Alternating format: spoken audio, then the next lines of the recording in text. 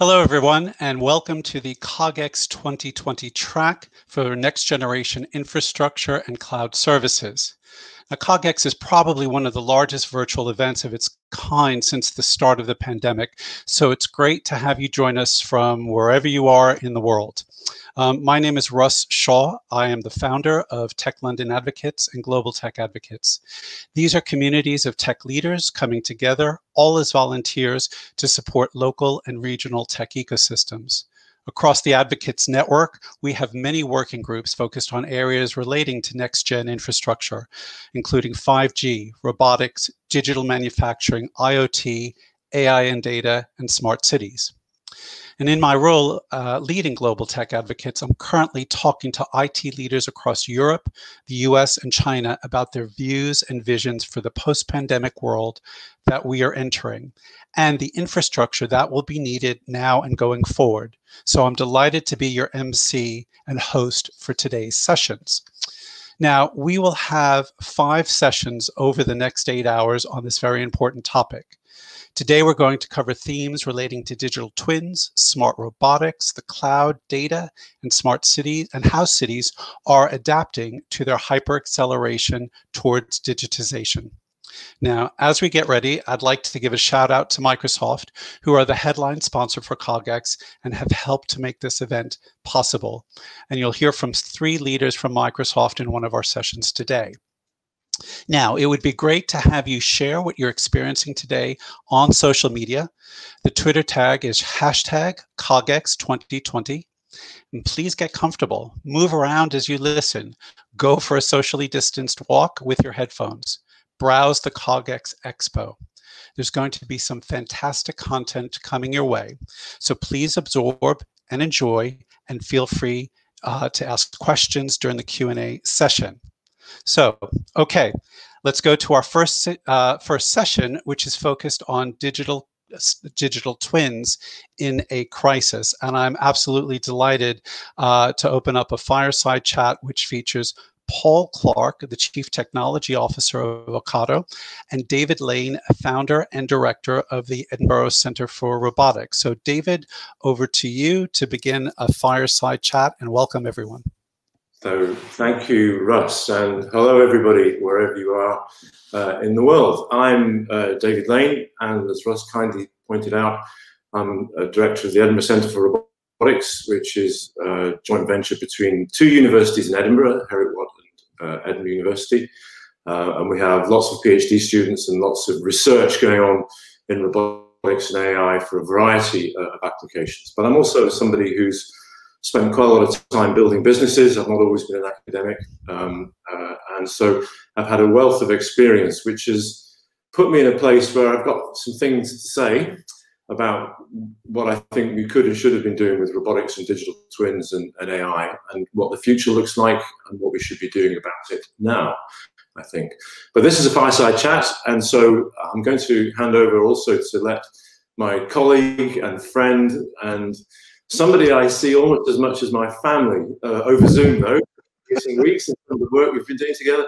Uh, Paul Clarke from Ocado, and let Paul introduce himself and say a few words to get us going. Paul. Thank you, David. Um, good morning, everybody. Welcome to CogX. And uh, yes, my name's Paul Clarke. I'm uh, Chief uh, Technology Officer at Ocado. Um, I've been doing that for the last 14 years.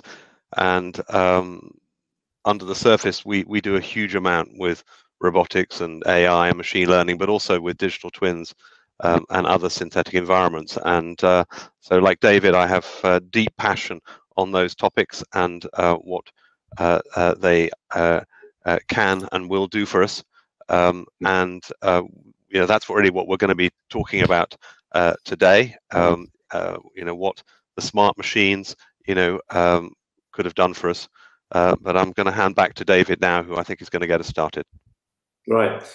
So may, maybe what we should do to kick off, Paul, how about this? Why don't we say a bit about what it was, what it was we did in our journeys, because we've had separate journeys, but they've been the same in different ways, about the way we gave birth to the robots and the AI systems that we use, you know, and um, you know, and I think why, don't you kick off because Ocado, fabulous com company, and the the the revolution that you've brought about in your time there as uh, CTO, and the way that's changed the online grocery business is all around the world is is enormous, and it's used robotics and AI to do it, and it's been under your leadership that that's happened. So why don't you talk a little bit about the the journey and the sort of stages of everything that you went through in order to give birth to those robots? Sure. So uh, one of the first things um, that I did when I joined Ocado um, just over 14 years ago uh, was to start um, hiring um, what became our simulation team and our simulation department and and this deep core competence that fuels so much of what we do. Uh, because um, when you're building complex, you know, ecosystems uh, with robots and and other smart machines and all powered by AI and ML. That's an enormous amount of complexity and data, and you know you can't just throw it together and hope it works. So um, you know in those days we were building you know our first generation warehouses which were full of you know miles and miles of conveyors and thousands of plastic crates whizzing around, but there was still a lot of complexity there. Um, and uh, so we set about you know acquiring this capability to build simulations. Um, those then moved on to become higher fidelity emulations where we could actually run the production software that we were writing, you know, on those emulations and and uh, then we would visualize all the data and the learnings coming from those models um, uh, and allow you know our engineers to uh, zoom in and and and watch any part at any time and play back and play forwards and so forth. Uh, and then over time they evolved into proper digital twins, um, and that's a term that you know is is much misused unfortunately. It means many different things to different people but to us it means conjoining these high fidelity simulations and models um, uh, in both directions taking all the data from the real world into the models using it to optimize the settings which you then feed back into the the real-time control systems. And then over time, you know, the robot, the rise of the robots started happening, and and more and more of the hard automation was replaced with uh, with robots. And now, you know, our latest generation warehouses, which we're building sort of 40 of um, around the world over the next four years for our, our platform customers, you know, each of them containing, you know, perhaps 3,000 uh, of these swarming robots, you know, and each of those facilities has to be modeled, you know, in these these synthetic environments and you need to put perhaps a year's worth of your customers' data through because everybody's you know uh, data is different and you need to optimize those warehouses for a particular customer. Um, so it is this uh, stitching together of the physical and the digital worlds that really uh, allows us to do certainly you know what we do. But I think David, you've had a similar journey, haven't you, albeit in a more academic environment? Yeah, and and businesses as well. I built a business uh, many years ago, still going strong, called Seebyte, spelled S-E-E and B-Y-T-E. And we were building autonomous underwater vehicles for navies and for the oil and gas industry and for offshore wind to do surveys and do stuff in the ocean. Uh, and um, it was at a time 20 years before self-driving cars. So there was no autonomy stacks around that you could go and, and, companies to do it. We were sort of making it up as we went along. And because these robots are working in the ocean, you know, it's quite difficult to do experiments with them for real because, you know, you have to be on the ocean on a boat, very expensive, and, and time is money when you're out there. And so of necessity, we had to do very similar things. We had to simulate the robots. We had to simulate the environment around them and then to actually transition from simulation to real systems, we had to have um, hardware in the loop, we called it at the time, but emulation facilities so that we could sort of slowly unplug the simulations around the real flight code for the robot uh, and plug in real sensors, real hardware, and then get to the point where we maybe had something working in a test tank or we had it working uh, maybe on a dock side. And that meant that eventually when we got out to go to sea to do stuff for real, we knew to some extent it worked and we weren't sort of debugging really early software problems, you know, at sea where it's just, you know, difficult and expensive and, and, and everything. So what we learned from that was the real power of simulation, emulation, digital twin in, in the work that we did. And we always found that, you know, we in, in order to reliability was hugely important to us because if, you know th these robots are off for sort of seven, eight hours at a time. And if it goes wrong, right, you, just, you don't know about it, or you might not know about it for, for quite a long time.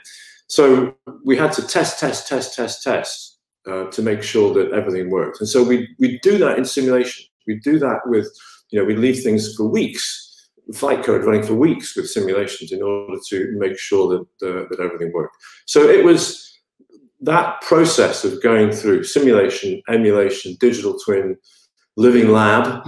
Uh, so we're into a sort of realistic environment and then out to the real world. That was absolutely fundamental for us to be able to do anything and build anything reliable that could work in the ocean. So that's huge. So so we had a similar journey, right? And here yeah. we are.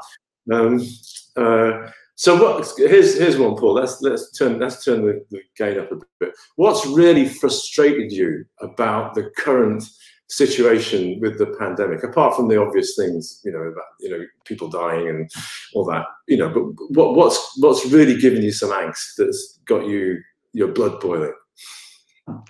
Crikey, uh, you know me too well. Um, I think um, uh, you know there's there's so much more you know that we could have done uh, both in the mm-hmm. physical uh, world you know with smart machines and indeed in the digital world um, and you know uh, you know for, you know you and I often you know uh, meet in those two worlds both because of you know uh, the fact that we co-chair the robotics growth partnership but also we we both sit on the ai council and i think that's the powerful thing is where those two worlds come together as i was saying earlier and i think there is so much more that we we we could have done you know with smart machines whether that be you know, I don't know, uh, modular reconfigurable production lines that, you know, uh, could have, with greater agility, you know, produce scarce resources that we needed, you know, mm. whether that be, I don't know, drugs or PPE or whatever, or, you know, smart machines that could have gone into hazardous environments and, and uh, helped keep humans you know safer whether that be you know hospitals to deliver supplies or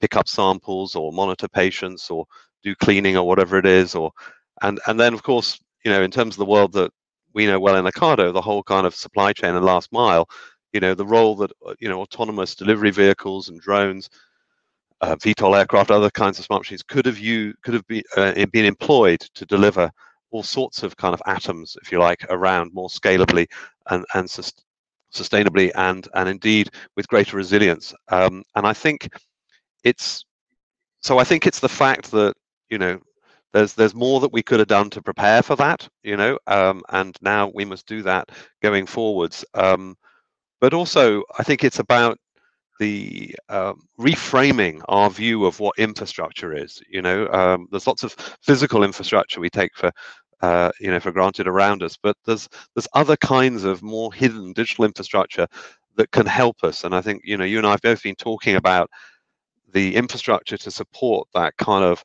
gestation and growth cycle, if you like, of of smart machines, right from you know uh, how they're born in simulation all the way through to living labs, which, mm. uh, like you, we we make deep use of, you know, at Ocado. So um, maybe uh, you want to talk a little bit about the uh, uh, that, that kind of digital infrastructure and what it could have done for us, because I know we we both feel uh, uh, we could have been more on the front foot with that. We could. I can tell you, I can tell you what's made my blood boil. excuse me for coughing, everybody. um, I live in Edinburgh in Scotland, and I got back in, I think it was April, and it, so it's all happening, right? I'm a lockdown. I got contacted by the Scottish Government COVID 19 committee, and they said to me, uh, uh, We've got an issue trying to clean our hospitals. Can you give Edinburgh Centre for Robotics, right? Can you provide us or help us get some robots? To clean our hospitals using ultraviolet light was the uh, was the answer.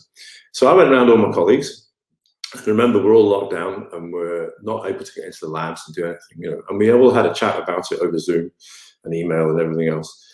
And what we came up with was that maybe in six months we could put something together to help the problem that was happening that week in the Scottish hospitals.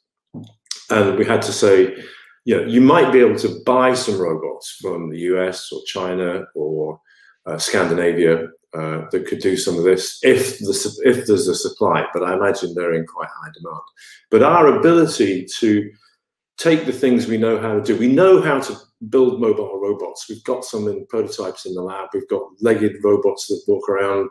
You know, we're, we're doing in some of the research programs we've got. Orca Hub, I'll give it a plug. Uh, orcahub.org, everybody, if you want to find out for uh, robots in hazardous environments on offshore platforms and offshore energy uh, uh, assets. You know, we're, we're researching a lot of the techniques to do this kind of stuff, but we don't have anything ready to go that can go into a hospital and do real work.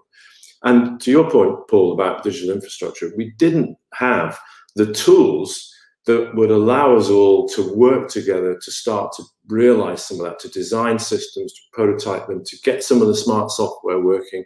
We could do some things, some of the tools we use, um, but like ROS, for example, but um, it, it, wasn't uh, sufficiently joined up. And that's a problem you know, when we weren't able to respond well in in the current with with the tools that we had. So we there's a pressing need there. Shall I talk about the ventilator challenge as well? Maybe I should give that one a plug.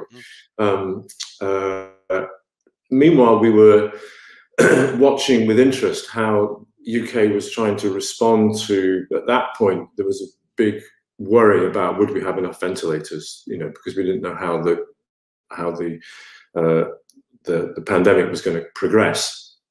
And the story we did hear about that was just great was the way that uh, uh, the high value manufacturing catapult, I'll give them a plug, and companies, a variety of companies in the UK and other academic institutions came together and designed, built, certified, manufactured, and delivered a ventilator to the NHS and nobody pretty much met anybody. It was all done remotely, and they had enough of the software tools um, to be able to do that. Wow.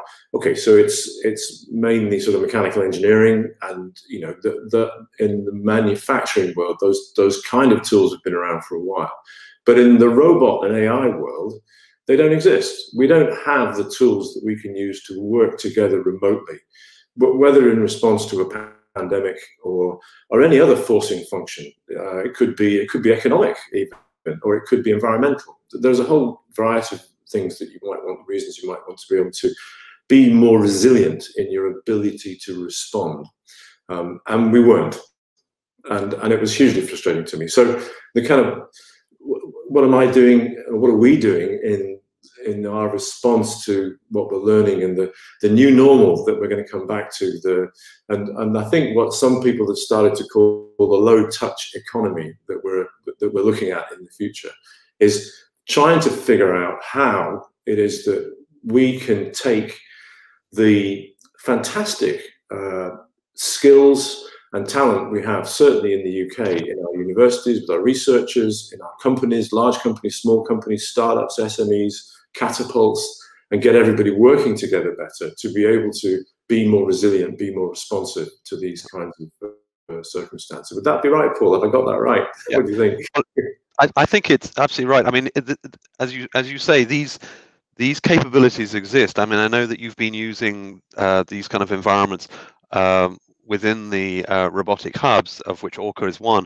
Um, and indeed, you know, when lockdown hit at Ocado, you know, all of our researchers and innovators, certainly in my division, you know, headed home, you know, um, to use the simulation environments that we have. Um, mm-hmm. They took some 3D printers with them and other stuff. Um, but the point is, you know, those those synthetic environments that we use enabled us to kind of keep going, allowed the research and the innovation uh, to keep going. And um, so we were we were lucky there. But you know, not not everybody has access to these. You know, the the, the bar to uh, uh, getting you know to being able to build these kinds of uh, models and these environments, you know, is set too high at the moment. And I think that's the thing that really uh, you and I both feel very strongly about is we need to lower that bar to make this much more of a commodity that's available to startups and researchers and SMEs and really um, anybody who needs to use them, but also that they're way more kind of collaborative and they're a shared resource so that um, everybody's kind of as much as possible within the same environment so that you can put together you know coalitions um, and uh, and get people you know working uh, clever together. And I love I love the phrase that I remember using the other day um, about you know how this has been an exercise in sort of simulated annealing. You know, and I think we've been through this process of of mm. kind of um, uh, of an, and we are going to settle out, as you say, in a new kind of uh, a new um, energy state, if you like, at the end of it, uh, as part of this low touch economy.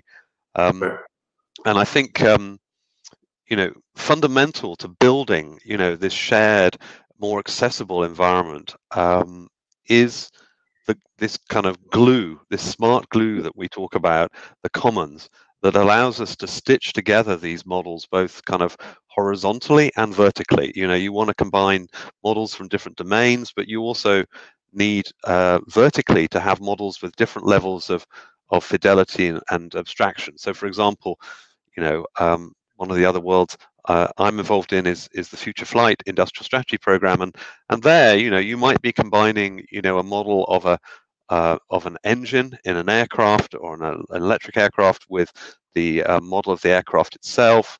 Uh, then you perhaps want that to sit within a model of the air traffic control system. And over time, you want to build a, a, a high fidelity model of the complete you know aerospace sector.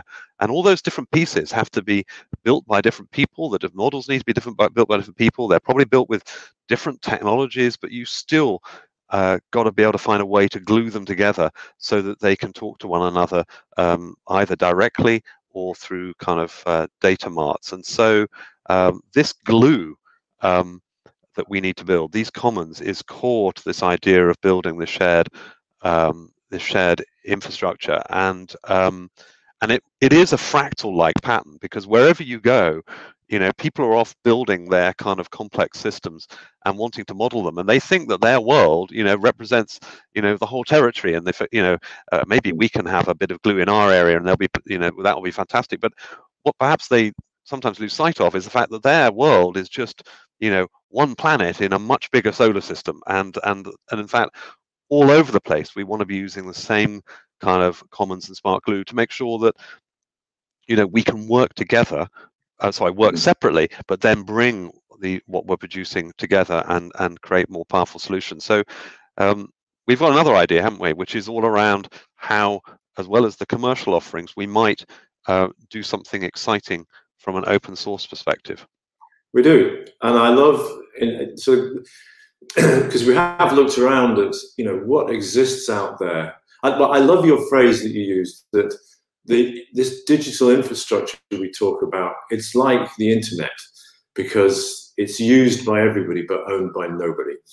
I think that's a great phrase, and I credit you with that absolutely.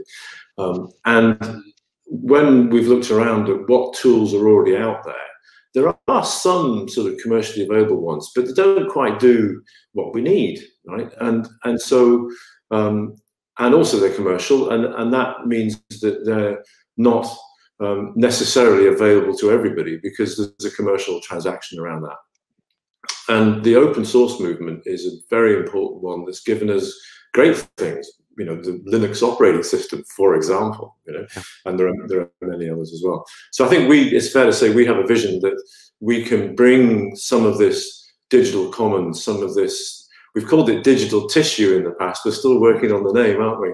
Yeah. Um, yeah, you know, in, uh, that can allow us to connect together all these different um, digital twins, modeling tools, um, uh, pieces of smart software, machine learning tools, you know, together to, in, into a more integrated whole, so that you know on a Monday morning, you know, people can log in from wherever they are and start working together on developing systems, and they can do it in, a, in an agile way and at pace if necessary. So I guess that's the mission we're on: is how are we're going to go about making that happen, right? Yeah. In our, in our work at work at the moment. Um, so uh, yeah, it's going to it's, it's going to take some time. I think maybe would this be a good time to see if uh, Sabine is there yeah. and bring her because we're, we're we're cracking through the time here and we haven't really said hello to Sabine yet. So it's great to have Sabine Hauert here from uh, uh, the Bristol Robotics Lab, uh, Professor Hauert, and she's, um, I hope, been able to monitor the chat. I'm not sure if that's been working or not to see if we can get any feedback from everybody out there about uh, what people are saying. Sabine, are, are, you managing to connect with anything much, or So just a couple thoughts. This has been a fascinating discussion, and you can see how these synthetic environments and digital commons would be really empowering for people who might want to, to develop robotics, whether they're SMEs or industries or, or everyday users. But I also heard the word complexity very often. And so I wonder if there was a tangible um, example, may, maybe the disinfecting robots, where you can walk people through what this might feel like uh, for them using such a digital a digital common. Mm-hmm. I, I'm I'm happy to have a go at that. I mean, we um, this is this is certainly you know core to our our use of um, of these uh, environments because um, you know you, you can start building quite simple models of you know of a new area and then over time you know you overlay more complexity you know to make your model higher and higher fidelity. And and that's an incremental process but you get value all the way along. You know it's not like you have to sort of uh, uh, produce this incredibly complex high fidelity model right on day one but you have to also realize that you know um, if you start making predictions before you've added enough sophistication, you know, the answers you get may not be quite right because you've probably missed out some edge, you know, some edge cases or some exception conditions or whatever. But I think one of the most exciting, um, and I remember talking about this at CogX last year, applications of these models is when you start attaching machine learning and AI to these models because I think one of the other things that these environments do is they allow AI and machine learning to get physical, if you like. They allow um, um, uh, these these digital technologies in terms of AI machine learning to be connected uh, with a representation of the physical world that lets them start exploring it. But it also allows you to use uh, machine learning to manage complexity that is, you know, beyond human scale. So, I mean, an example in our backyard is that, you know, each of these warehouses we're building now, you know, 3,000 robots, each robot 5,000 data points, a thousand times a second. That's a, you know, a gigabyte of robot per, per robot per day of data, or about four terabytes per swarm per day. Now, you human engineers just can't manage that kind of complexity in real time, but machine learning can. And and what's more, you need something to scale across uh, you know many warehouses in our case and i think this is part of the challenge we face going forwards is how to build scalability and resilience by design in the same way that people talk about building security by design. We've not we need to think of this not as an afterthought but right from the start about how we're going to use these technologies to manage this very complex world whether it be responding to a crisis like the current one or other really big problems you know like climate change that we face where the complexity is huge, you know, and it's such a big toothpaste tube and you if you start squeezing it without understanding the implications of the changes you make because you don't have a model then you may create all sorts of unintended consequences david what about what about you what are the examples of complexity in your world well i wondered uh, if oh. complexified actually because i think the complexity i think the complexity is is the vision but i also wonder if these tools could be useful for entry level robotics. So, so these disinfecting, right. It feels like they should be there, uh, and yet, as you said, they aren't. Uh, so, how how would this also help bootstrap those types of, of scenarios? So, I, I, so one of the things that you put in a digital twin is the sort of workflows about how people do things, right? And that can be how the users do it, but it can also be the sort of how you how you develop stuff, which is kind of what you're asking, I think. So, um, what will it feel like? And to me, I think this lends itself very much to the sort of agile development methodology. I mean, you can use the traditional, you know, waterfall, whatever approach, but what this allows you to do is to develop systems in simulation to start with, um, uh, using agile methods where a series of sprints and you, you, realize capability successively and you do the sort of optimization that Paul was talking about, you know, as you go. And you get to some point in simulation where you go, okay, that's that's enough. That's kind of working well enough now that I, I need to get into the real world because the simulation is not perfect. It's not really like the real world. And the machine learning that you might have used on the simulation, when you put it in the real world, it won't have learned the right things, right? So you need to go learn in the real, in the real world. Um, and so uh, you move away from the digital twin at that point into you know a living lab, an environment where you've got you know real robot platforms running around, uh, but it's safe. So uh, you know if it goes wrong, it, it, might damage the robot, but it won't damage anybody and it won't cause any problems. so and you then kind of repeat that kind of agile thing in the, in the you know in the living lab, and and that, so I see, I see a series of those agile workflows, and you know, and I think it's something that I mean you're right. It, it's you want it to be accessible to um, how shall I call it um, low cost tech as opposed to very expensive tech, and I think and and certainly you know Ocado you know had reasonably deep pockets in order to develop what it did, but it had to develop everything itself, right? And and you can look at other companies like Amazon, you know, when when they've developed their fulfillment warehouses, probably the same.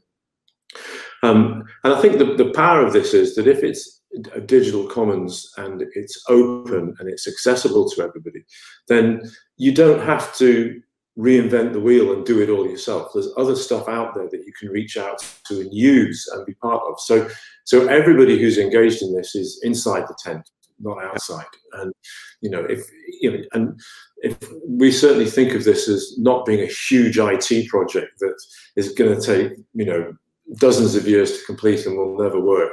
You know, it's something that actually boils down to um, some APIs, some middleware, um, and the ability to interface things that already exist. So, in the spirit of digital commons and openness, you know, it's to some extent it's about who's prepared to provide an API to their stuff, whatever stuff is, um, in order that things can connect together. And we're trying to build a coalition of the willing to start with about people who are prepared to do that, so that we can do the sort of V1 prototyping of it and, and get the idea uh, off the ground, and and do exactly what you're saying, Sabine, which is show how to do it around some, some relatively simple applications, not very expensive, but agile and quick to deliver results. Okay, great. We have a little question here from uh, Ben Butterworth. Uh, so he's asking, I've been to Amazon Robotics and Ocado Robotics talks. Uh, the difference is Ocado has more sophisticated tech. Um, any thoughts? so this is something from the crowd. And it, goes what David was just saying uh, uh, about having to develop things from the ground up for a specific purpose, I think. Maybe I mean, well, no, I, I, I, maybe obliquely, which is you're right. We we do build pretty much everything ourselves, and we're very self-sufficient. But we're also very aware of those areas where we have to do what David's just been saying, where it is about working, you know, with others and open standards and so forth. And um, you know, a, a great example of that is around kind of you know autonomous vehicles and and and and autonomous delivery vehicles or whatever. And and one of those living labs that we've been mentioning, you know, we're in, in the process of building one you know, in Hertfordshire around, you know, this intersection of autonomous vehicles, drones, robots, smart infrastructure, and smart services, because it is a, a properly big ecosystem that you need construct there uh, if you want to deliver stuff scalably, you know, with automation, uh, with autonomous vehicles of all different kind of sizes and on the land and in the air and so forth. And and as David says, you can only go so far in digital twins, and then you start need when you want to learn about things like public adoption and privacy and things like that. You need to get out there, but you need to do it in a constrained environment. And I think um, you know we've had to pause that slightly because uh, you know. Uh, we can't stop. We can't be doing things in the outside world much, but we'll be picking that up again, hopefully soon. Um, but it is a fundamentally important part, and it's a bit like, you know, it's a bit like children you know they start off in kindergarten and then they go to school and then you know uh, uh, and then they go to secondary school and then you know as parents you start kind of letting them out you know but uk you know be back at 11 o'clock or whatever and then eventually they leave home and then you need to still be have a way to provide support and that's where perhaps the last thing we haven't mentioned i think comes in which is this ability to put humans back into the loop safely you know with things like teleoperation and haptics and that's that's kind of going to be important um, in those environments where smart machines go, but they may get stuck. You know, like a cleaning robot may get itself into a corner behind something, and and and you want humans to be able to get back in and go kind of okay all right you know i'll get you out of that mess and and in so doing the humans hopefully provide some additional learning that helps the robot you know over time acquire you know new tricks so that maybe you know you have to intervene less and less. And I think that's just like the final stage of of helping these smart machines mature. Um, but the only way they're going to be around when we need them, you know, like now, um, is if they're woven, as I put it, into the, the kind of the fabric of everyday life. And then, you know, then they're there to be used for other purposes. So um, I think going forwards, it is this combination of of um, you know adding more smart machines to our everyday lives, but also the synthetic environment and the infrastructure to support it. Um, but and then, but some of that has also ways it can help humans. So, for example, you know, humans can learn, you know, in these synthetic environments. David, do you want to talk a little bit about that? Um, yeah, uh, certainly we've we've we've found uh, synthetic environments to be um, essential, as we've said, to do to do the, the sort of system, system, development. I think it's fair to say that the, the, like I said it already, the learning that we've done in those environments, machine learning, um, we've got some pretty rude shocks when we took it, having machine learned something around sensor data from a you know in a synthetic environment you know, trying to recognize things and characterize things, you know, in, in uh, synthetic data. When we put it into the real world with real noise and uh, everything else and delays and, and, all sorts of sort of standard systems engineering issues, you know, uh, and the real world isn't like the synthetic world. The, world. the synthetic world only models the things that you put into it and not the things you don't know about. You don't know what you don't know right, about the real world or, you, or the physics is just too hard, then um, there's a real learning journey there. So that, and that's why living labs are, are we've seen yeah. are, are, essential. Um, I was thinking about skills. You know, I mean, if you think about well, kind of the environments yeah. where, um, you yeah. know, uh, which you know, my children certainly, you know, uh, when they were younger, you know, uh, used to immerse themselves in very high fidelity imaginary virtual worlds, but which actually have were you know fantastic sort of physics engines, and they they were very uh, representative of the real world, although they allowed you to do some things that probably you would get arrested for if you did them in the real world. But the point is, you know, that leads to kind of ways in which people can learn in these immersive environments and acquire new skills without having to necessarily have access. Is that is that right? Yeah. Sure. And and that kind of training element is something that you know organ- other organisations have done. You know. Uh, uh, a lot, and it's and it's of huge value as long as you realise that the real world might not be quite like this. The, the, the, the, airline pilots do it, for example, but you still have to go and do, you know, time on a real aeroplane to uh, you know to, to certify. You can't do it all in simulation. I think skills, we're, we're getting close to running out of time here. I think skills is something we haven't said very much about, but I think it's worth noting that we recognize that's going to be a huge area of development um, where, you know, in universities, in our technical colleges, for apprentices, you know, there, there's a real need to get good, uh, particularly in the technical colleges, actually, so that if we have, you know, these smart machines, you know, there's plenty of jobs for everybody, keeping them all going, right? They're not all going to self, self-fix themselves. And so part of the thing that we're doing in the Robotics Growth Partnership is thinking about what should that be and how would, you know, we be able to provide um, the opportunities for people in apprentices and otherwise to acquire the skills they need to be part of that. And and I think it's, it's a huge part of how does the UK move forward, you know, coming out of the, the pandemic into the future. Um, and you know, there's we're in a recession. You know, traditionally in recessions, it's a good time for universities normally because everyone goes back to study a course. You know, to learn to upskill themselves. And I think we need to be on the front foot about that, about how we um, uh, think about the provision that we've got in order that people have those opportunities.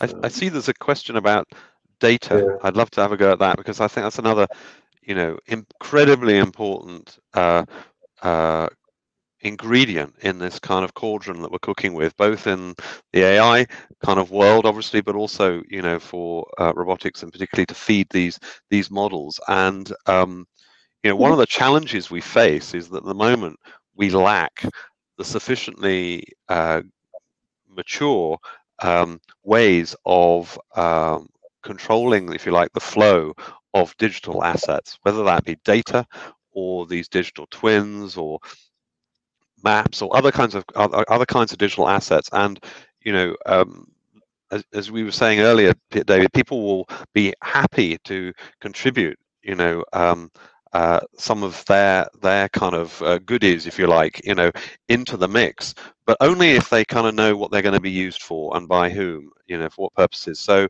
really, really important, and that's that's also been very important you know obviously CogX is a you know AI focused conference you know with our other hats on you know in the in the AI world you know we could have done much more with AI in this uh, crisis if if you know we'd had better ways to um, share data you know, safely and reliable. And obviously, that's something we're working on. So it will benefit both of these worlds to have those kind of uh, that better digital asset management techniques, whether it be passports or data trusts or whatever, um, because uh, that's that is really, as people often talk about it being the new oil, but it is the oil that oils the machines and the uh, the digital twins. Mm-hmm. I thought it would be nice maybe to close up to think uh, back at your term, the low touch economy and new normal, and maybe what this could what this could look like in the future. Mm. Um, I'll have a go at that. Um, some things that have sort of the pennies dropped with me. You know, the uh, we've only ever got rid of two viruses ever. Smallpox is one of them. Um, the other is I can't remember the name. It's in cattle. Everything else is still out there. SARS, AIDS. You know, so the virus is here. It's, you know, and we might get a vaccine, but that's you know, think about flu. You know, if, it, it, takes time. And what we don't want to have is a vaccine that everybody uses that turns out to be flawed somewhere down the line. Think how much worse. You know, the cure would be better than the than the illness, worse than the illness. Right? So, so I think that means that the, the kind of way we're living at the moment. What tools do we have? Well, herd immunity, but that's a bit scary. So, therefore, the thing we have is that we have to do things differently, and it means the sort of thing that we're doing at the moment. And being able to work remotely is an important part of that. Um, being able to have robots do some of the stuff that people do at the moment, you know, either not necessarily remotely, but there with you, you know, in, know, in the back of a restaurant, for example, it doesn't have to be all people doing the cooking. You know, you can put a robot in the middle and the people can be further apart. Um, so I think, and we're still learning what that's going to be, but I think this whole business of um, staying safe and doing the kind of distancing thing that we're doing at the moment, um, you know, robots are going to have a place in that. Um, uh, and that's why we need to be on the front foot. It's a low touch economy. Paul, do you want to you want to pick it up? No, I I I I share that view. I think it is very much. It's not a kind of uh, an all or nothing type thing. I think the really exciting stuff is in the same way that I think AI and machine learning can augment us, you know, as human beings and let us, you know, maybe focus on the things that we we would rather spend more time on, uh, and and also let us go beyond what we can currently do. I think the same is the same is true with smart machines. You know, we we need to decide, you know how we want to delegate them, what parts of our, our, our lives and our work we would we would like to um, to delegate to them, but also where we'd like to work with them. You know, uh, whether that be to keep us safer or whether it be to uh, um, just make life, you know, more um, you know enjoyable and rewarding. You know, so I think there are some really important choices in this kind of engineering, this low touch economy, this new state that we're going to settle into to make sure that um, it's it's what we want you know and and let's not just kind of fall into it. Let's let's actively get in there and and try and engineer and design it to be uh, uh, to be you know what we want and and and hopefully you know even better in many ways than what we had before. We haven't had time to talk about it but there's a big environmental piece as well which is yeah. equally beneficial you know in offshore energy well, we need more electrons and less fossil fuels. If you look at what is the cause of um, you know, causing climate change. The, the, generating electricity is probably the biggest single one. I think something around about 25% of emissions are to do with that, thereabouts. Um, and so renewable energy is going to be huge. If it's wind, if it's if it's uh, at sea, it's in hostile places because that's where the energy is that we want to get out. And therefore, you know, for safety reasons, if nothing else, having more sophisticated robotic systems, remote systems, um, is key is key to that. So it on for for not just low touch economy, also for environmental reasons. If we want to keep living the way we live as societies, this is going to be important to get it right. Yeah, I think it's so important. But both uh, thinking about the user's want and how robots can work with users um, yeah. rather than instead of them, and as well uh, their ability to solve some of the global challenges that we're facing. That's yep. a very positive way to wrap up. Yeah.